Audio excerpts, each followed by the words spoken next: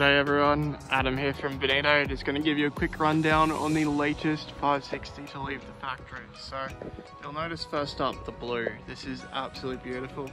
Jake's chosen this color himself and um, boy is it a stunner. It just pops. Absolutely beautiful. We got white bottom, hot blue sides and white deck. Just very classy, very nice look. Uh, you'll notice it's rolling on a Aussie alloy trailer. These are a 2000 kilo rated trailer. Check the plate cards, alloy wheels.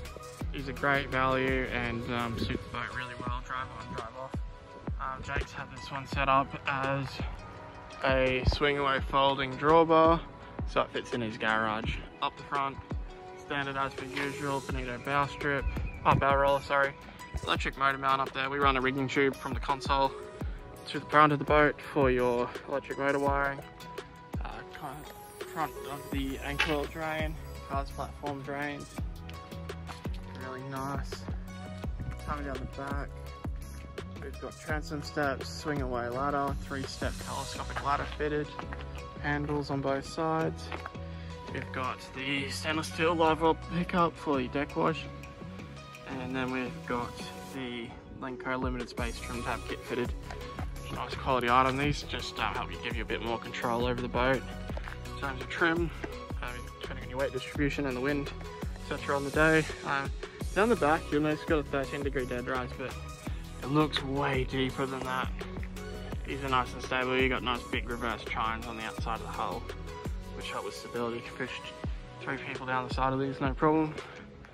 Uh, in the back here, we've got the fuel filler. So this one's got 190 litre underfloor fuel tank massive range. Both sides we've got boat tanks, so blue on the port, white on the starboard. Recess cleats, got four heavy duty rod holders fitted. These are all welded around the base, so these are super strong. Inside we've got a console, uh, leaner seat with storage. And in the sides we've got the side pockets and spear gun rack. So same on both port and starboard side. Jack's a spear fisherman as well. So he wanted to place his guns out of the way. Removable bait board fitted here. It's absolutely beautiful. It's come off the tree. It's got the non-skid floor. Coming to the front, got the large cast platform. Something pretty unique about this one. Let's open her up.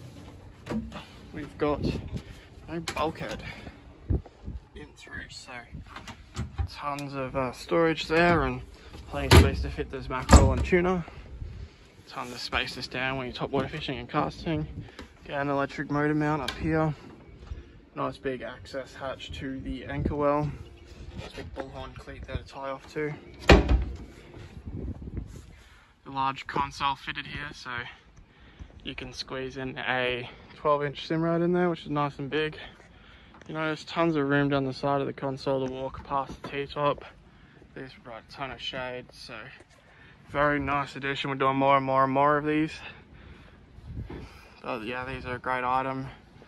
Um, these are definitely the definitely good value for money and quality. Price point. Hydraulic steering fitted here. Yeah, you can flush on a 12 inch screen in here. Inside the console, we've got two shelves on down low on a pie. Can fit tons of room in there in the console storage wise. Storage in the back in here. Nice big storage compartment. Split fold down rear lounge. When you're not using it, you can slide your feet underneath it still fish from it. And then have a comb to lean against. And then when you're using it, that's what it looks like. It's got four legs, I just got one up just to show you. Down the back, bilge pumps, two fitted down there. One manual, one auto. Absolutely awesome little boat. And um, thanks for letting us build your boat, Jake. It's been a pleasure. And I'm um, looking forward to seeing it in the water. Cheers.